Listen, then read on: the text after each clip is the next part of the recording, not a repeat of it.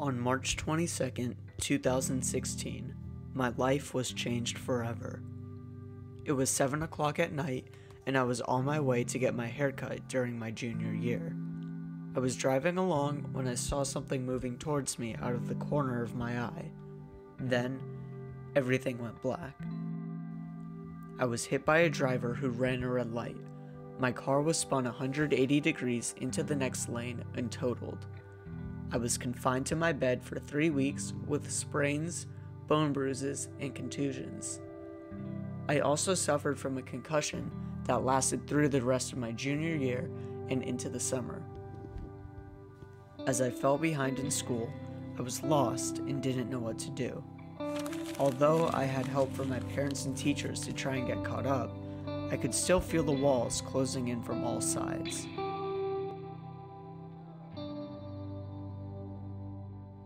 Hey, Brandon. What? Who are you? I'm your future self. How is that possible?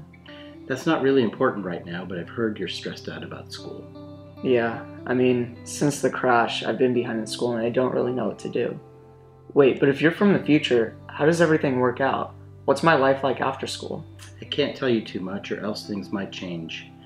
But the crash doesn't change things too much. I know it might be hard right now, but everything will work out in the end.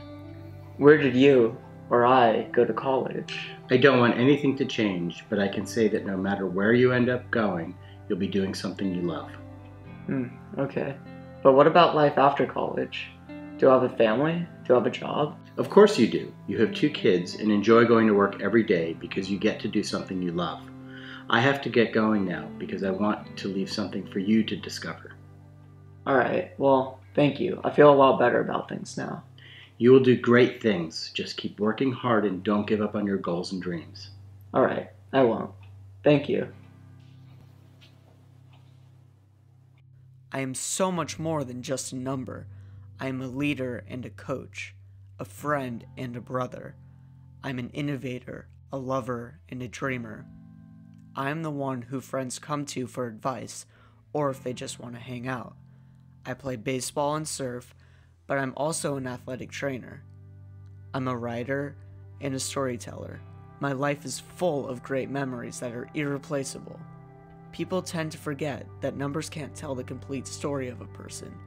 They can't tell you what's going on in someone's head or what they are feeling.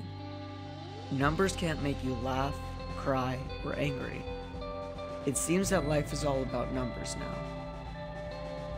I am Brandon Burg from La Jolla Country Day School. I am not a number.